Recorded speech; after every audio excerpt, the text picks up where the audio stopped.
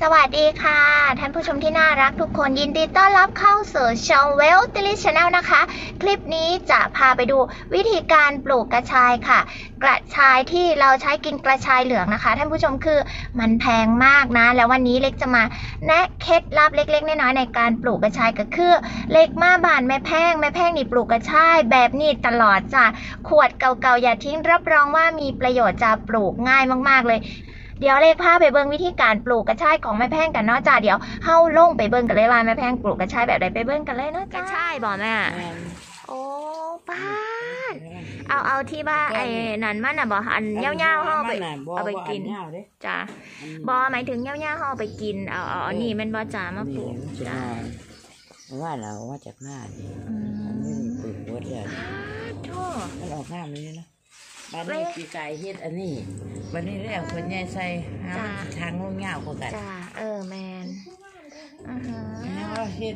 ไอเดียดีมากเลย สุดยอดเลยวันนี้ปีกายนี่จ้ะหัวมันจะยาวลงมา มันทำมันยาวกว่าเก่าคนใหญ่แมนนี่ วันนี้อันปีกายไอเดียนี่เอาไปเฮ็ดได้เด้อจ้าเฮ็ดตามได้ เดี๋ยวเล่ก็ไปเฮ็ดคือกันผ้าหลุดง่ายก็ให้อุ้ไปหายสวยย่ำแรงพุ่ยากเลย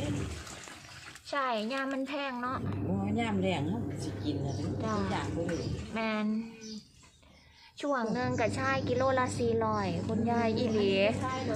แม่นเพราะว่าไอ้หนูซื้อไปใส่ไอ้นั่นเป็นสมุนไพรไก่ปลูกไว้กินอยู่ว่ามันกินง่ายดีสี่ร้อยนี่เห็นไหมคะโอ้ดินไว้มันจะได้แม่ใส่ดินอย่างแน่นี่ แต่ว่าไอ้ดินให้ให้แกะเก่าเนี่ยละส้มแกมส้มคุณอ่าธรรมดาเนี่ยล่ะจ้าทั้งแกบทั้งฟูนฟูนกับปุ๋ยขอกเนาะจ้ะ ปลูกง่ายๆหมดง่ายดินร่นๆก็ได้ไอเดียดีค่ะแล้วค่ะ เป็นไงบ้างคะท่านผู้ชม ขวดที่เราใช้แล้วเน้นย้ำนะคะ อย่าทิ้งโดยเฉพาะขวดขนาด 1.5 ลิตรนะคะนำมา